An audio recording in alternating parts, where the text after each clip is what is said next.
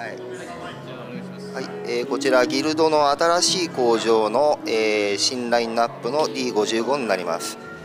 単純に工場が新しくなっただけではなくいろんな部分がアップグレードアップデートされてますんで、えー、その音のほどをまた楽器店さんの方でお確かめください。